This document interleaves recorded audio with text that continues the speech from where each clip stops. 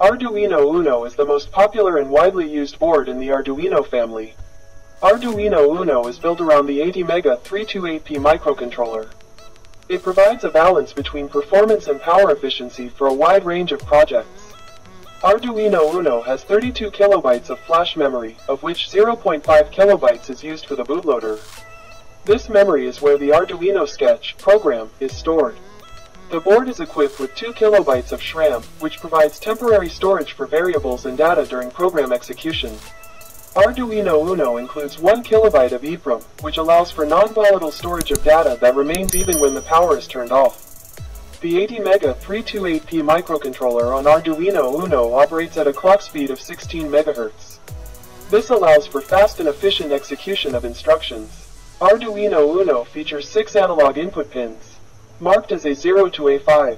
These pins can read continuous voltage levels from sensors and other analog devices. The board offers 14 digital input-output I.O. pins, labeled from 0 to 13. These pins can be individually configured as inputs or outputs, allowing for digital signal reading and control. Among the 14 digital I.O. pins, 6 pins, labeled 3, 5, 6, 9, 10, and 11 support PWM output. PWM allows for precise control of analog-like signals, enabling smooth control of devices such as LEDs, servos, and motor speed. Arduino Uno can be powered through a USB cable connected to a computer or a power adapter. It also has a barrel jack for an external power supply. The board has 5 volts and 3.3 volts power pins that can be used to provide power to external components. It also has ground, GND, pins for completing electrical circuits.